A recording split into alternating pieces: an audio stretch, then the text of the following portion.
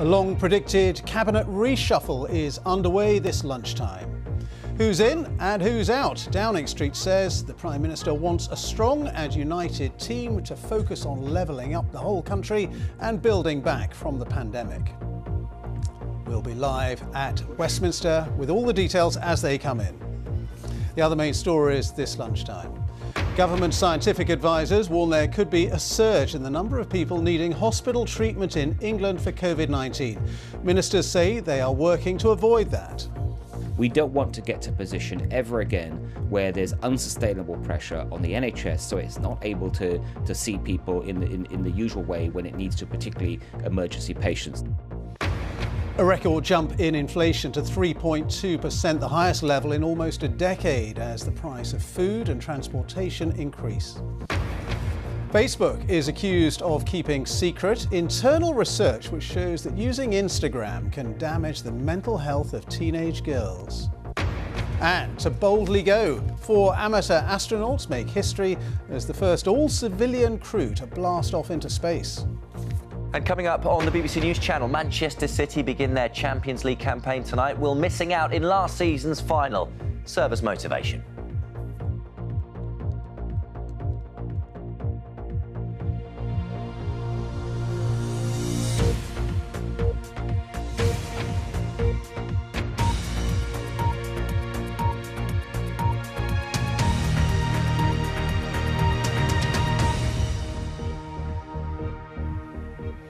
Hello, good afternoon, and welcome to the BBC News at One.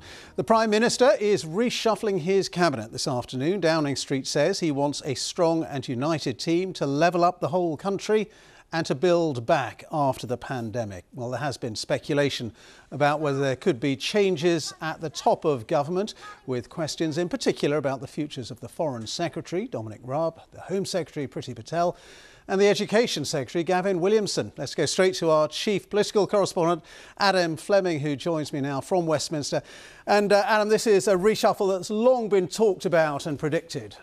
Afternoon, Ben. That is very true. It's been subject to speculation in Westminster for weeks, either journalists and MPs just gossiping about what's going to happen, or the government using it as a little tool to maintain discipline around the cabinet table as big decisions are being made. The reshuffle is now on. We've got confirmation from the government. It will happen today and tomorrow. Uh, different ranks of the cabinet and, and the lower orders happening on different days. We also suspect that if it follows the pattern of previous reshuffles, the firings will be done out of the public eye in the Prime Minister's office in the Palace of Westminster. So we will not see tearful former ministers walking out of their meeting with the Prime Minister. What we probably will see from this afternoon, though, is joyful new ministers or newly appointed ministers going into Downing Street to take over their new portfolios. You hinted at some of the speculation that, that there's been around the personalities. Dominic Raab, the Foreign Secretary, who came in for quite a lot of criticism for the government's handling of the, the evacuation from Afghanistan and not seeing the fall of the Afghan government coming.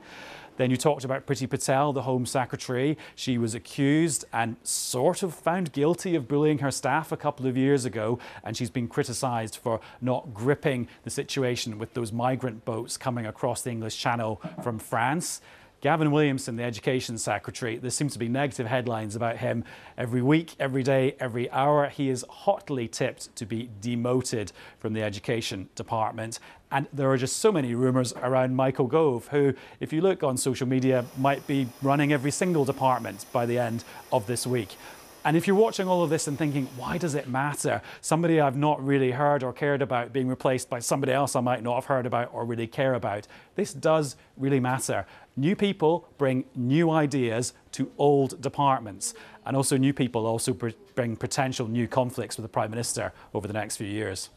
Uh, Adam, thank you very much indeed. Adam Fleming will be back with you if we get any more details uh, during the programme.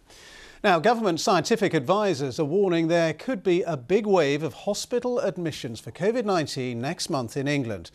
But they say that surge could be avoided with some light touch restrictions. Modelling from the government's SAGE Advisory Committee suggests that hospitalisations could increase from about 700 a day in England to as many as 7,000.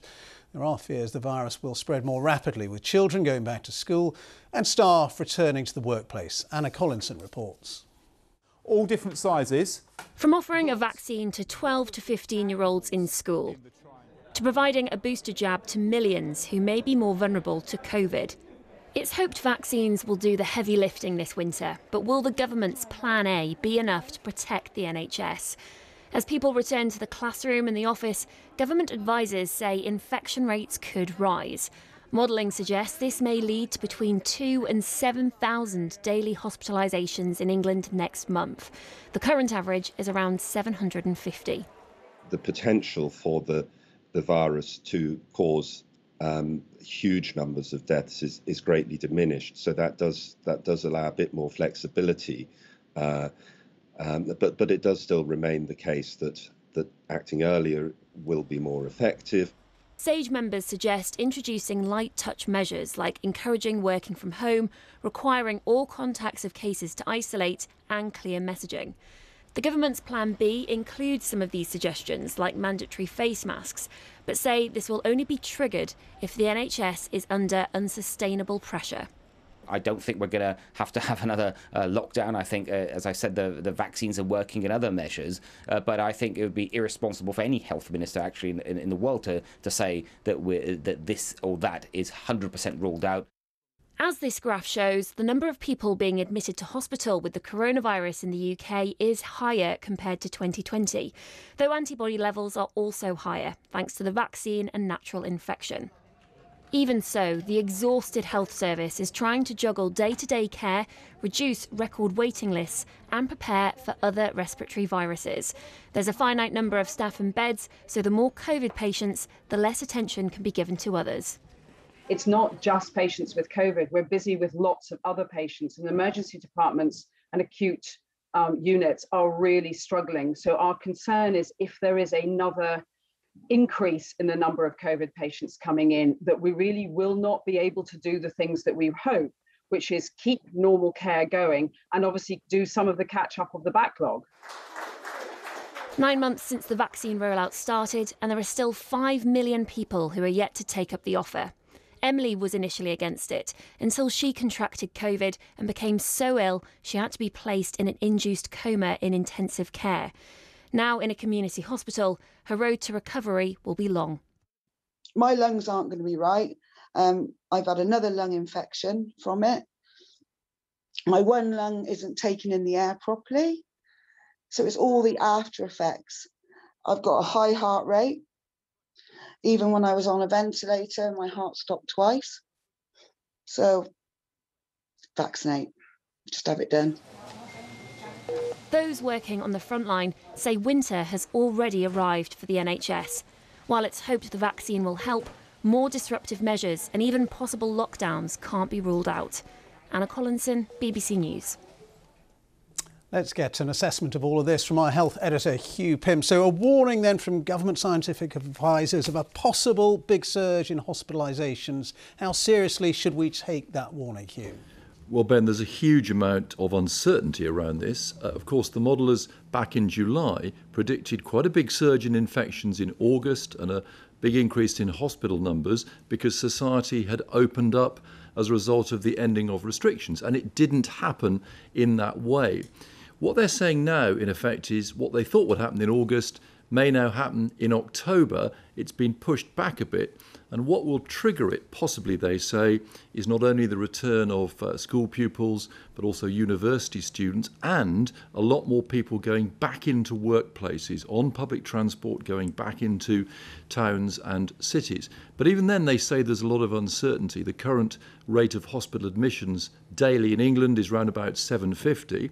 They're saying if there are some light touch restrictions, in other words, Boris Johnson's Plan B announced yesterday, where you encourage people actually to work from home and to wear masks uh, more extensively, then you could maybe keep it at about that level.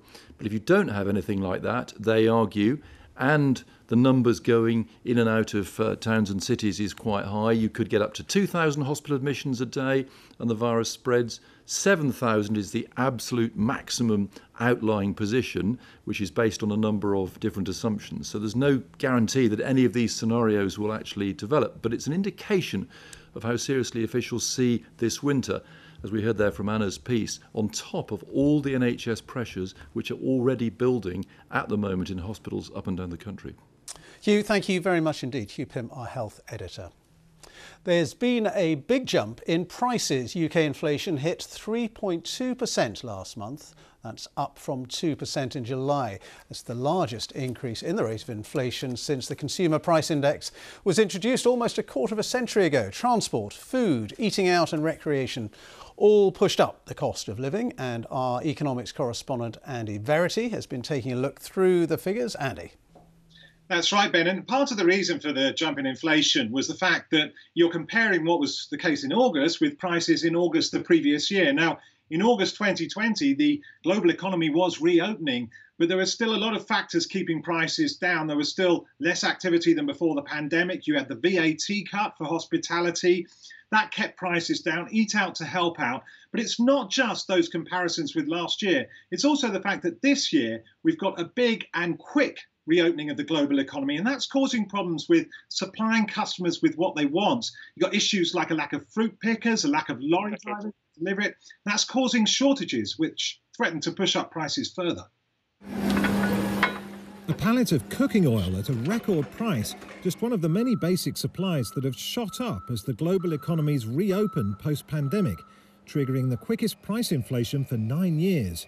Food wholesalers like this one in Uxbridge that supplies upmarket hotels and restaurants are working as hard as they can, but still can't meet demand. The current uh, priority issue for us is, is shortages. Um, every, every delivery that comes into our warehouse is affected in some way. It's either late, uh, doesn't turn up, or when it does turn up, it's, it's short, and that, that's due to the chronic shortage of lorry drivers. Everything this firm sells is packaged in cardboard, where it says prices are up by 40%, or plastic, where prices have jumped by 70%. With much higher shipping and fuel costs, they're expecting all firms like theirs to have to raise prices next year if they haven't done already. With shortages of goods and lorry drivers and sky high shipping costs, wholesalers like this are at full stretch just trying to get the goods in the back door to meet demand from their existing customers. They're turning new customers away. So far, they've been able to protect their customers from higher prices, but in the coming months, they're going to be forced to raise them. At restaurants like this independent pub near Windsor, prices were higher compared to August 2020 when the government's Eat Out to Help Out scheme allowed them to offer half price meals from Monday to Wednesday. But it's also found that to offer the good service it wants to, it's having to pay higher wages. If we're going to start paying our staff as professionals and treating them like professionals, then they need to have a decent living wage, um, which is what we as a business have started to do.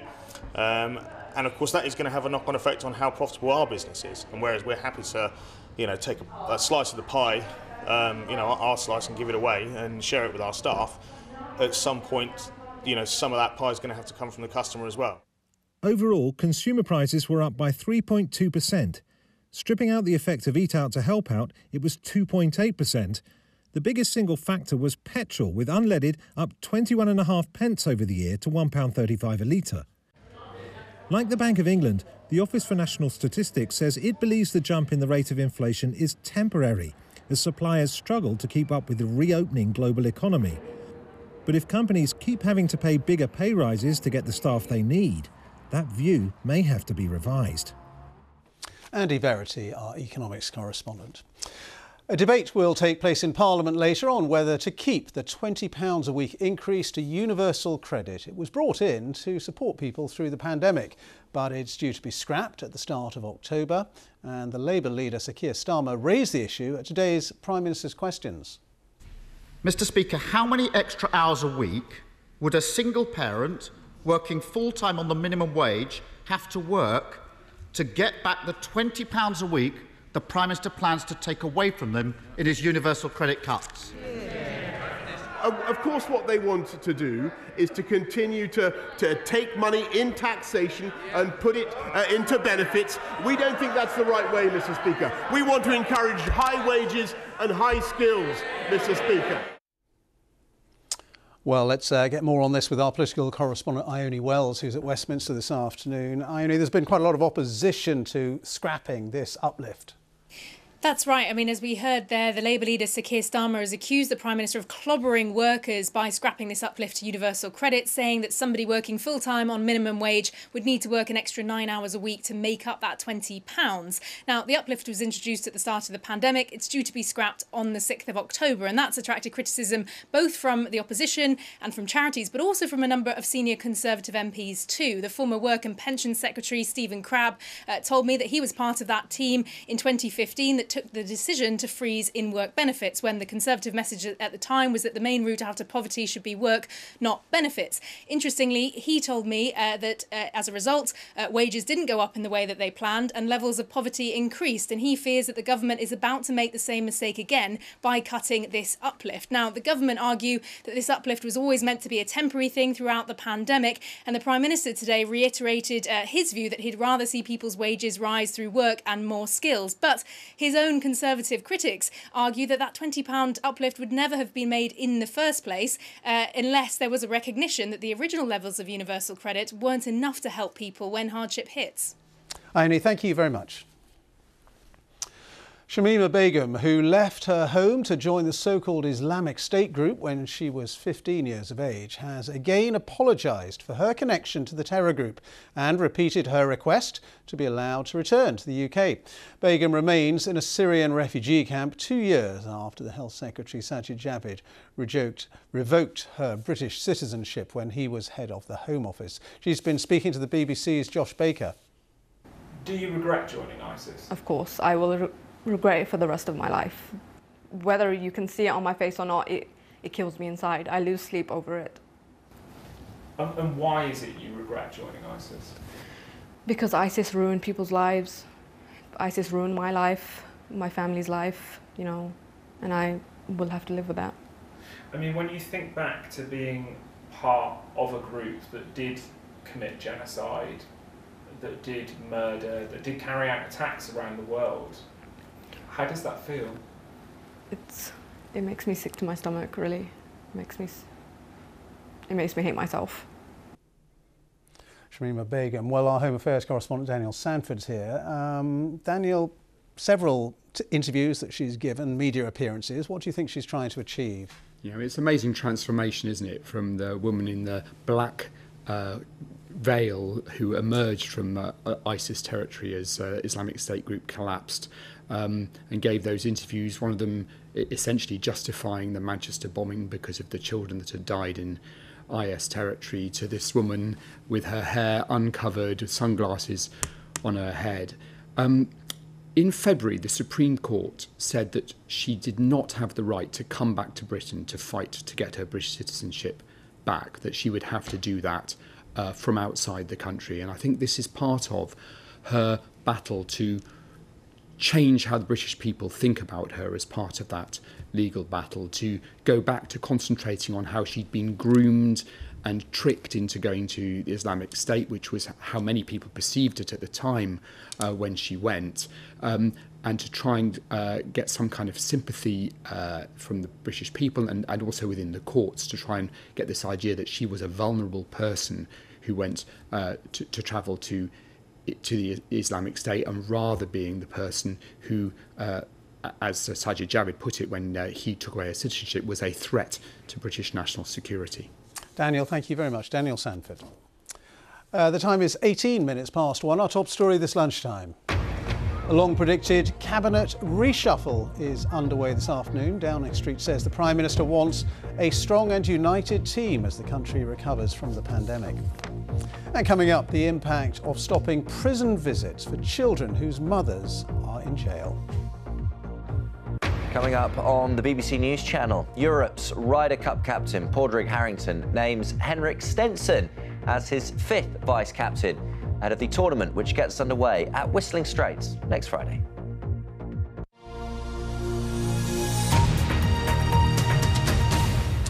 Relatives of the four men who died in a mining disaster in the Swansea Valley 10 years ago are pressing for a full inquest into their deaths. No one has been held responsible for the Gleision colliery disaster, and the two surviving miners say they feel the tragedy and subsequent investigation have been swept under the carpet. Our correspondent, Wyre Davies, reports. Ten years ago, there were just a handful of underground mines left in Wales. Small and privately owned, working conditions were often tough, cramped, and dangerous. One such colliery was the Gleision Drift Mine in the Swansea Valley. On the 15th of September 2011, the unthinkable happened.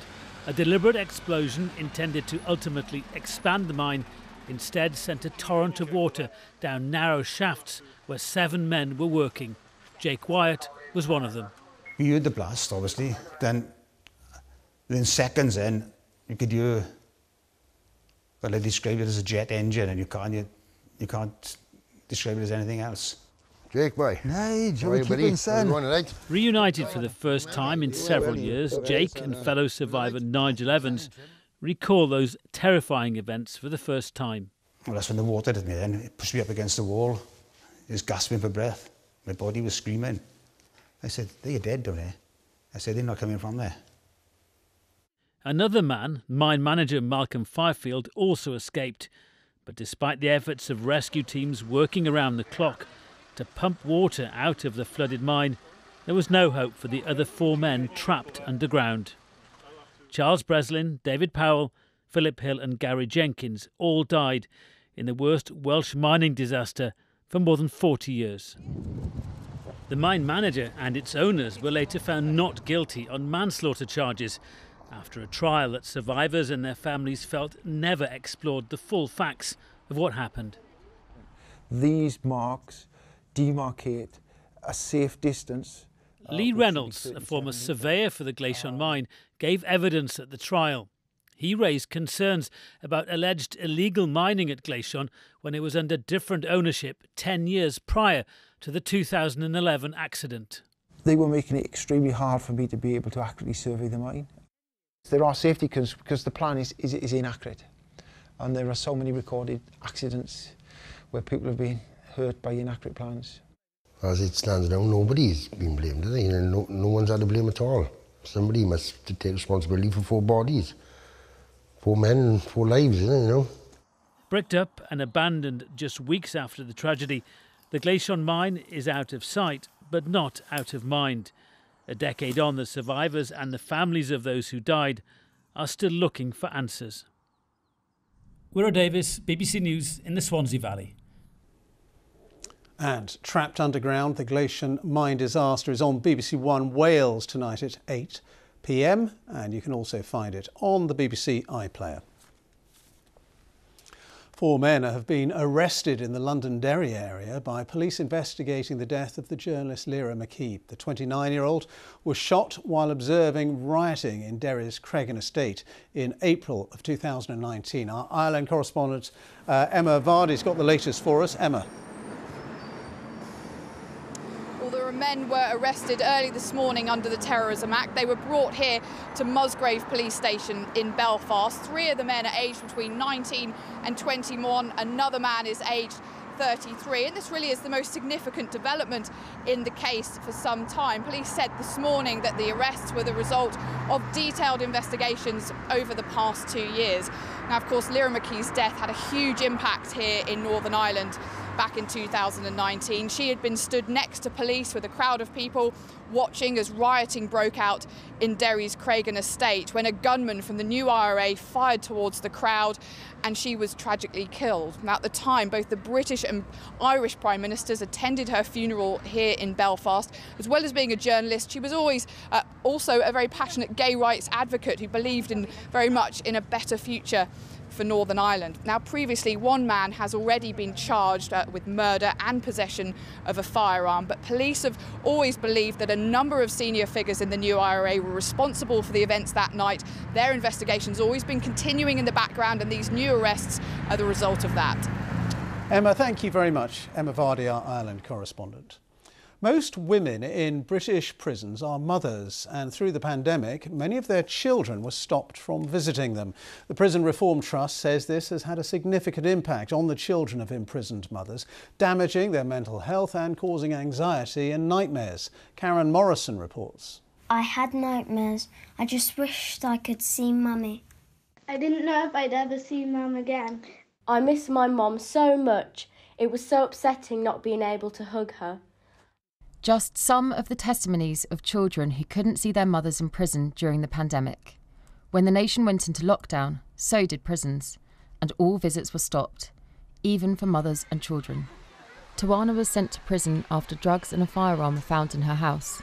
She completed her four years in prison during the pandemic and is now home with her three young daughters. I think it did a lot of damage actually. I mean, it did because, I mean, I, to have your mum is meant to have in your world and to have that taken away at such a young age. What was your biggest fear when you were in prison? My main biggest fear was um, my children stop loving me or they'll forget about me to know that my mistakes put me in that position, which I totally, you know, I have a lot of regrets for, my choices, my bad decisions, and to know that that was going to affect your children that you were supposed to put first, you know, it is heartbreaking. We've had reports of those children uh, bedwetting, intense nightmares, and totally bewildered because they can't recognise their mothers when they see them on video calls. Um, really concerned about what this impact on the emotional well-being of children will really do to them in the long term. It wasn't just younger children who felt the pain of separation. When Vicky was convicted for tax fraud, her daughter was 16. Vicky was moved between three different prisons during the pandemic. Everyone felt it. Everyone the frustration. They just being in on, on the wing or in the house where I was was just the atmosphere just changed completely. Just went everyone turned in on each other because you've got nothing. Everyone, you've, everyone's feeling frustration. It's just, it was a horrible place to be in. All prisons have now resumed social visits, and the testing of visitors is being rolled out to allow physical contact. But campaigners and their families are calling on the government now to keep visits for children and their parents in prison, even if other restrictions have to be tightened. The Ministry of Justice says the decision to stop visits was not taken lightly and we know the difficult impact this has had on parents in prisons, particularly mothers. But there is no question these measures helped save lives. Women's prisons were prioritised for the rollout of video calling, and inmates were given extra phone credit to help communication with loved ones, especially children. A mum's job never ends. You can make mistakes, but you can pick it back up and make it even better. So I think that's where me and my children stand now.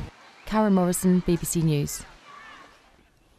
Facebook has been accused of keeping secret internal research on Instagram, which shows it makes body image issues worse for teenage girls and can affect their mental health.